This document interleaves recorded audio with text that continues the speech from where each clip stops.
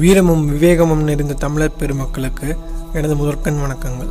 நம்ம இது வரைக்கும் உடல் தத்துவங்களில் அதாவது தொண்ணூத்தாறு தத்துவங்களில் நம்ம வந்து முப்பது தத்துவங்கள் பார்த்துருக்கோம். ஏனைய தத்துவங்கள் இப்போ வரக்கூடியது என்னென்னா நாணேந்திரியங்கள் ஐந்து. இந்த நாணேந்திரியங்கள் வேற ஒன்றும் கிடையாது. ஐம்பொறிகள் தான் இந்த நாணேந்திரியங்கள் அப்படின்னு நம்ம சொல்லுவோம். அதில் இந்த ஐம்பொறிகள் என்ன அப்படிங்கிறது நமக்கு தெரியும். இருந்தாலும் சொல்கிறேன் மெய் வாய் கண் மூக்கு செவி. இந்த மெய் அப்படிங்கிறது நம்ம உடம்பு தான். இந்த உடம்பு அப்படிங்கிறது வந்து பஞ்சபூதங்களில் மண்ணின் அம்சமாக இருப்பது. நம்ம வாழ்க்கையில் நடக்கக்கூடிய இன்பங்கள் துன்பங்கள் அப்படிங்கிற உணர்வை உணரக்கூடியது இந்த உடம்பு தான். இந்த மனித உடல் அப்படிங்கிறது மிகவும் ஆற்றல் வாய்ந்தது. அது மட்டும் இல்லாமல் ஒரு அரிய பிறப்பும் கூட ஏன் அப்படின்னா ஐந்தறிவு நான்கறிவு மூன்றறிவு இரண்டறிவு மூன்று அறிவு சீவன்களாக இந்த உலகத்தில் நம்ம சுற்றுனதுக்கப்புறம் தான் ஆறு அறிவு உடைய இந்த மனிதனின் உடல் நம்மளுக்கு கிடைக்கும். தேவையில்லாமல் விஷயத்துக்காக அந்த உடலை வந்து நம்ம பயன்படுத்தக்கூடாது ஏளனமாக கருதக்கூடாது. அடுத்தது வந்து வாய் அது நீரின் அம்சமாக இருக்கிறது. அது மட்டும் இல்லாமல் நம்ம உடம்புக்கு தேவையான உணவை வந்து நம்ம உண்பதற்கு அதுக்கு உண்டான ருசியை உணர்வதற்கு நல்லது கெட்டது பேசுகிறதுக்குங்கிறதுக்கு நமக்கு வாய் வந்து பயன்படுது அடுத்தது கண் நம்ம உடம்புல இருக்கக்கூடிய எல்லா உறுப்புகளிலும் சிறந்தது வந்து கண் தான். அந்த கண் வந்து நெருப்பின் அம்சமாக இருக்கிறது. அது இருக்கிறதுங்காட்டி தான் நம்ம நல்லது கெட்டது பார்க்க முடியுது தெரிஞ்சுக்க முடியுது. அது மூலமாக தான். அது மட்டும் இல்லாமல் பார்க்கறது மேலே எல்லாத்தையும் ஆசையை உண்டாக்குவது இந்த நம்ம உடம்புல உண்டாகிறது வந்து இந்த கண்ணின் மூலமாக தான். நம்ம பார்க்குறது மூலமாக தான். அப்போது இந்த கண்ணு தெளிவாக இருந்ததுன்னு வச்சுக்கோங்களேன் நம்ம மனம் தெளிவாக இருக்கும். இதை நம்ம நினைவில் வச்சுக்கணும். அடுத்தது வந்து மூக்கு. மூக்கு அப்படிங்கிறது வந்து நம் உடம்புல வந்து காற்றின் அம்சமாக இருக்கிறது. இந்த மூக்கின் இரு வாசல்கள் வழியாகத்தான் நமக்கு வந்து சாகும் வரை மூச்சுக்காற்று சென்று வருகிறது. அது மட்டும் இல்லாமல் நம்ம நறுமணத்தை துர்நாற்றத்தை இந்த ரெண்டையும் உணர வந்து ஒரு புலனாக இது இருக்குது. அது மட்டும் இல்லாமல் நம்மளுக்கு ஒரு நாளைக்கு இருபத்தி ஒரு ஆயிரத்தி அறநூறு சுவாசங்கள் ஓடுது. அதாவது ஒரு தடவை சுவாசித்து வெளிவிட்டோம்னா ஒரு சுவாசம். இது மாதிரி மூச்சு காட்டு ஒரு நாளைக்கு இருபத்தி ஓராயிரத்தி அறநூறு தடவை நமக்கு நடக்குது. அது மட்டும் இல்லாமல் இப்போ நம்ம உள்ள சுவாசம் இழு சுவாசத்தை இழுக்கிறோம்ல அது வந்து எட்டு அங்குலங்கள் உள் செல்லும் உடம்புக்குள்ளே. அதை வெளி வரும்போது வந்து பன்னெண்டு அங்குலமாக அந்த வெளி சுவாசம் வரும். உள் சுவாசம் எட்டு அங்குலம் வெளி சுவாசம் வந்து பன்னெண்டு அங்குலமாக வெளி வருது. அப்போ உள்ளே போகிறது எட்டு வெளியே வருது பன்னெண்டு. அது என்ன கணக்கு? அப்படின்னு நீங்கள் கேட்டிங்க அப்படின்னா மீதி இருக்கக்கூடிய அந்த நான்கு அங்குல காற்று அப்படிங்கிறது நம்ம உயிர் காற்று. உயிர் காற்று உயிரில் இருக்கக்கூடிய காற்று வெளியே வந்து விரியமாக வருது. உள்ளே போயிட்டு வெளியே போது விரியமாக வருது அப்போது நம்ம கடைசி காலகட்டத்தில் நம்ம சாகும்போது இறக்கும் தருவாயில் அந்த உயிர் காற்று நம் உடலில் தீர்ந்திருக்கும். அப்போ தான் நமக்கு இறப்பு நேரிடும். அவ்வளோதான் இது வந்து காது. இது நம்ம உடம்புல வந்து ஆகாயத்தின் அம்சமாக இருக்குது. நம்ம எந்த ஒரு ஒளியை கேட்கக்கூடியதுன கூடிய திறனை வந்து இந்த காது தான் நம்மளுக்கு கொடுக்குது. இப்போ இந்த நம்ம காதின் மூலமாக நல்ல செய்திகளை மட்டும்தான் கேட்கணும் நம்ம மனசுக்குள்ளே செலுத்தணும் அதை பிறருக்கும் நம்ம கொடுக்கணும். அதுதான் வள்ளுவர் என்ன சொல்கிறார் அப்படின்னா செல்வத்துள் செல்வம் செவி செல்வம் அச்செல்வம் செல்வத்துள் எல்லாம் தலை அப்படின்னு சொல்கிறார் உடலின் அடுத்த தத்துவம் என்னென்னா கண்மேந்திரியங்கள் ஐந்து. அந்த அஞ்சு என்னென்ன அப்படின்னா நாக்கு கை கால் மலவாய் கருவாய். அப்போது இந்த நாக்கு அப்படிங்கிறது என்ன அப்படின்னா உலகத்தில் மிக சிறந்த ஆயுதம் நாக்கு தான் இந்த நாக்கின் மூலமாகத்தான் நம்ம பொய் சொல்கிறோம் உண்மையும் சொல்கிறோம் மனதில் உண்டாகக்கூடிய எந்த ஒரு எண்ணத்தையும் நாக்கின் மூலமாக ஒரு சொல்லின் சொல்லாகத்தான் ஒரு மொழியின் மூலமாக நம்ம பிறருக்கு தெரிவிக்கிறோம். இப்போ இந்த நாக்குனால் பல இடையூறுகள் எல்லாத்துக்கும் ஏற்பட்டிருக்கும். தேவையில்லாமல் எல்லா இடத்துலையும் பேசி கண்டபடி அடி வாங்கி மீதி வாங்கியிருப்போம். அது மட்டும் இல்லை இந்த நாக்கின் மூலமாகத்தான் தப்பாக பேசி மற்றவங்களோட மனசை புண்படுத்துகிறோம் பிதத்தா வந்து தீயினால் சுட்ட பயனுள்ளாறு மாறாது நாவினால் சுட்ட அப்படிங்கிற அந்த குரல் வந்து எல்லாத்துக்குமே தெரிஞ்சிருக்கும் வள்ளுவர் சொன்னது. அடுத்தது கை. இந்த கையின் மூலமாகத்தான் நம்ம எந்த ஒரு செயலையும் நம்ம செய்யணும் உழைக்கிறோம். அப்போது இந்த கை இல்லாமல் வாழ்க்கையில் நம்ம எதுவுமே பண்ண முடியாது. அடுத்தது வந்து கால். ஒரு மனிதன் நடப்பதற்கு ஓடுவதற்கு ஆடுவதற்கு உலாவுவதற்கு உறுதியான உறுதுணையாக இருப்பது வந்து கால் தான். இந்த கால் தான் வந்து உடம்பை உறுதியாக தாங்கி நிற்குது. அடுத்தது வந்து மலவாய் நம்ம உண்ண உணவு உடலில் போய் சேர்ந்து சீரணமாகி வெளியே எதுவாக வரும்? மலவாயின் மூலமாகத்தான். நம்ம உடலில் ஏற்படக்கூடிய எந்த ஒரு நோய்க்கும் மூல காரணம் வந்து கழிவு தான் அப்போது அந்த கழிவு நம்ம உடலில் சேராமல் பார்த்துக்கணும்.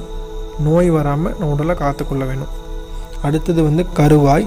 நம்மளுடைய சிறுநீர் மற்றும் விந்தணுக்கள் இல்லாட்டி இந்திரியங்கள் வெளியேறுவது வந்து இந்த வாயின் மூலமாகத்தான்.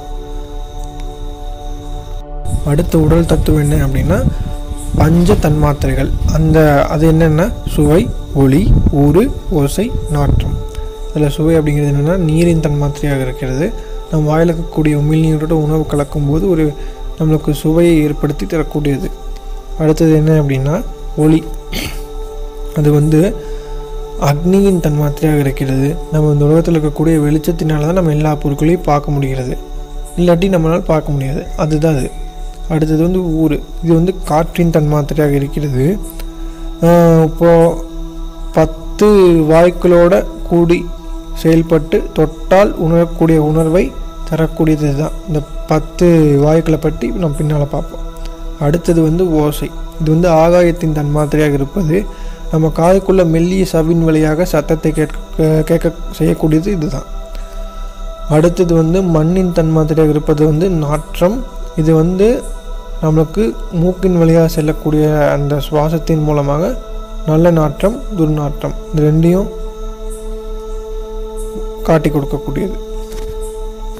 அடுத்த உடல் தத்துவம் பஞ்ச கோஷங்கள் என்ன அப்படின்னா அன்னமய கோஷம் பிராணமய கோஷம் மனோமய கோஷம் விஞ்ஞானமய கோஷம் ஆனந்தமய கோஷம். கோஷம் அப்படின்னா என்ன அப்படின்னு கேட்டால் உடலுக்குள் உடலாக இருக்கக்கூடிய ஒரு உறுப்பு ஒரு உறுப்பு அது நம்ம கண்ணுக்கு புலப்படாது. தெரியாது சூக்குமமாக இருக்கும். ஒன்றுக்கொன்று தொடர்புடையதாக இருக்கும். இது இருக்கிறதங்காட்டி தான் நம்ம உடம்பும் உயிரும் ஒன்றிணைந்து செயல்பட்டு நம்ம இந்த உலகத்தில் உலாவி கொண்டிருக்கிறோம். அன்னமய கோஷம். அப்படின்னு என்னென்னா நம்ம உடம்பு அப்படிங்கிறது வந்து நம்ம சாப்பிடக்கூடிய அந்த உணவினால் தான் உருவாகுது. நம்ம இவ்வளோ பெருசாகிறோம் அப்படின்னா அதற்கு நம்ம சாப்பிடக்கூடிய உணவு தான். அப்படி நம்ம உணவை நம்ம எடுத்துக்கல நம்ம உடம்பு வந்து மெலிந்து நம்ம இறந்துருவோம். நம்ம உடம்புல மேல் தோல் அடித்தோல் மாமிசம் ரத்தம் எலும்பு மஞ்சை. இது மொத்தமாக கூடிய ஒரு தொகுப்பு தான் இந்த அன்னமய கோஷம். நம்ம உடம்பு வந்து உறுதியானது கிடையாது. அது வந்து அழியக்கூடியது. அதாவது நம்ம கண்ணுக்கு தெரிய இந்த உடம்பு தான் அன்னமய கோஷம். இது வந்து நிலையற்றது. அழியக்கூடியது. அவ்வளோதான் அடுத்தது வந்து பிராணமய கோஷம். இந்த பிராணமய கோஷம் அப்படிங்கிறது ஒன்றும் இல்லை. காற்றால் நம்ம உடம்புக்குள்ள சூக்குமமாக அதாவது சூச்சு கண்ணுக்கு தெரியாமல் காற்றினால் அமைக்கப்பட்ட ஒரு கோஷம் தான் பிராணமய கோஷம். இப்போ இது வந்து நம்ம கண்மேந்திரியங்கள் அப்படிங்கிறது பார்த்தோம். வாக்கு அதாவது நாக்கு கை கால் எருவாய் கருவாய்ன்னு பார்த்தோம். இது இந்த அஞ்சும் வந்து நம்மளுக்கு செயல்படணும் அப்படின்னா இந்த கோஷம் எரிபொருளாக இருந்தால் மட்டும்தான் இந்த அஞ்சும் செயல்படும். இதில் இந்த இந்த உடம்பு இல்லை அப்படின்னா இந்த அஞ்சும் செயல்பட முடியாது. அப்போ பிராணமயம் கோஷம் சூட்சமான உணவுகள் இருந்தால் தான் இந்த கண்மேந்திரங்கள் வேலை செய்யும். அடுத்தது வந்து மனோமய கோஷம். அதாவது நம்ம மனசினால் ஆன வெற்று உடம்பு அதுவுமே கண்ணுக்கு தெரியாது சூட்சம உடல் தான் அதை தான் மனோமய கோஷம் அப்படின்னு சொல்லுவோம்.